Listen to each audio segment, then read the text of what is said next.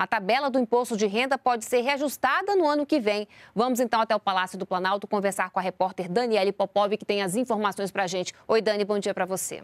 Oi, Carla, bom dia para você, bom dia a todos. É isso mesmo, o presidente Jair Bolsonaro ele deu essa declaração ontem durante uma entrevista à Rádio Bandeirantes. Ele disse que pretende sim é, ele pretende fazer a correção na tabela do imposto de renda para o ano que vem. Essa correção deve ser feita, no mínimo, com a inflação. Ainda segundo o presidente, o governo estuda também aumentar os limites de deduções.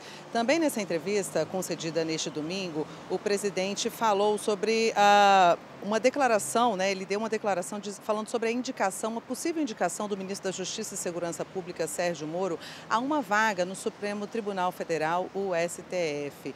Ele seria indicado para uma vaga que ainda será aberta no tribunal. Uh, o presidente confirmou que espera que o pacote anticrime, o pacote que foi apresentado pelo ministro Sérgio Moro ao Congresso Nacional, seja aprovado. E disse também que fará um pronunciamento sobre o decreto de armas, esse decreto que foi assinado pelo presidente na semana passada aqui no Palácio do Planalto.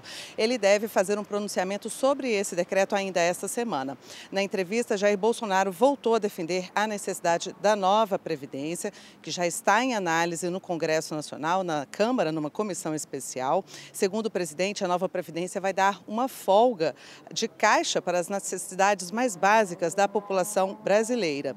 Bom, agora a gente fala sobre a agenda do presidente Jair Bolsonaro, que começa às 10 horas aqui no Palácio do Planalto. Ele recebe Logo mais, o presidente da FUNAI, Franklin Berg Freitas, e à tarde ele se reúne com o advogado-geral da União, André Luiz de Almeida, e o ministro da Economia, Paulo Guedes. Carla, volto com você. Obrigada, Dani, pelas suas informações.